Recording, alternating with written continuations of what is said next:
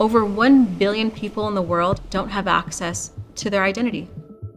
They don't have access to who they are. My name is Elle Tusi. I'm a journalist by trade, but I'm also the founder of In One Minute.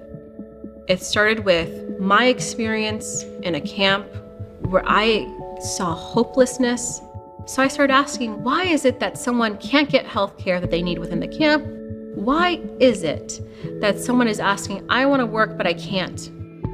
It's because everything that they are has been put into pieces and taken to different entities that own them. How can we provide a solution that can give them access to who they are? I am convinced that it's digital identities.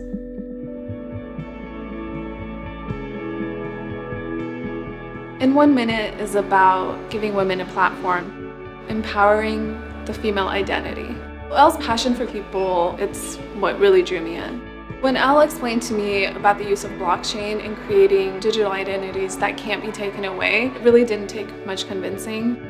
I met Elle in 2015. Since then, we've been best friends. What really like attracted me to this cause is that Elle is determined on changing the world.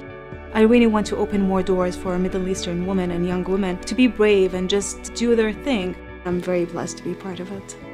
I'm a big believer in what I like to call the power of one. One person can make a difference. They can empower a community. That's our challenge.